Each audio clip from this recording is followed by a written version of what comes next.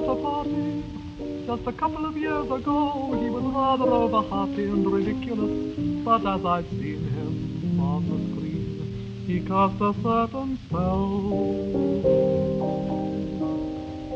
I basked in his attractions for a couple of hours or so. His manners were a fraction too meticulous. If he was real or not, I couldn't tell. But like a silly fool,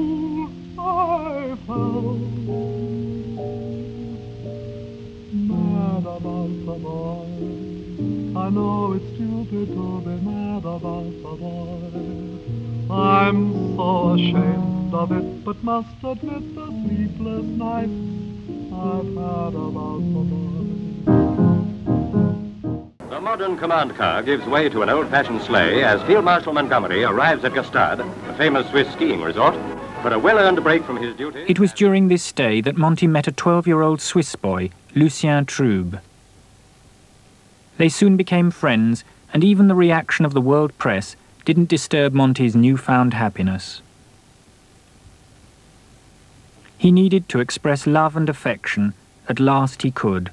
This uh, very peculiar correspondence, which ended up lasting 25 years, started out. So I would obligingly write about uh, my uneventful uh, life as, uh, as a schoolboy. And uh, invariably, almost always by return mail, came his answer in a very affectionate tone. Monty missed Lucien and asked him to have a photograph specially taken. Monty thanked me very much for it and uh, added the uh, very nice, uh, touching words that uh, he had put up that, uh, that picture into a frame and it was standing on his nightstand and he was always seeing it when he woke up in the morning. The next year, Monty returned to London to become CIGS, the head of the British Army. He'd reached the highest rank possible, but was increasingly lonely.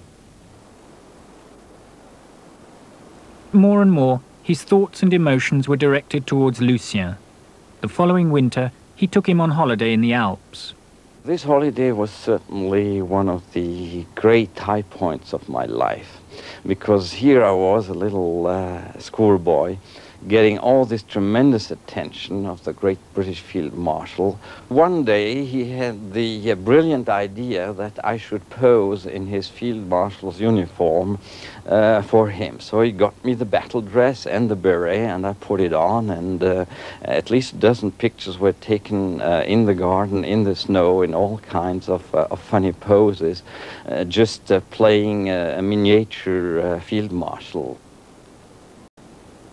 Monty returned to England and continued to write to Lucien with his characteristic simplicity and also with deep affection. Many of the letters are quite strange because they could easily be interpreted as love letters. He, he, he constantly wrote and talked about love. In his final years, he increasingly shut himself away at his Hampshire mill if I could employ a little magic that would finally destroy this dream that pains me and enchains me, but I can't